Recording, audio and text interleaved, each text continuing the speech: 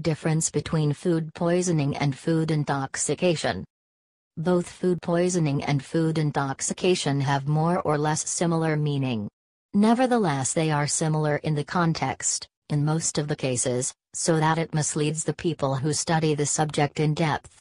Both the terms can be encountered into a common subject area called food microbiology. Food spoilage microorganisms are responsible for the low quality end product where the poor food safety is due to pathogenic microbes. Intoxication and poisoning are resulted due to the activity of pathogenic microbes. Therefore, both cases are very much important in regulating food safety. In this article, you will get an idea about how intoxication differs with poisoning, unique features of each terms, similarities and some of the applications.